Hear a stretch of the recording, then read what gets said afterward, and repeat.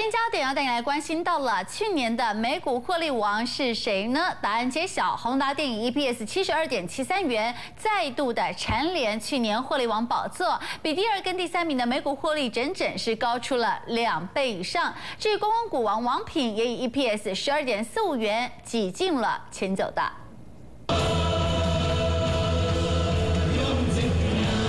宏达电董事长王雪红高唱用增牙，获利果然跟着往前冲。去年以 EPS 七十二点七三元蝉联获利王宝座，远比二三名的硕和跟精华多出两倍以上。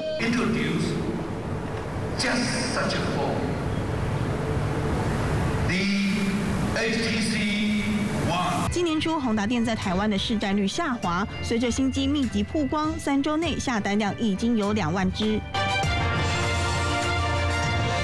加上二十六号又有新手机要发表，估计将有助业绩再攀高峰。一，请集合值得注意的是，观光股王王品也以每股获利十二点四五元登上去年获利王第九名，在几乎是电子科技业挂帅的名单中顺利取得一位。东森财经新闻综合报道。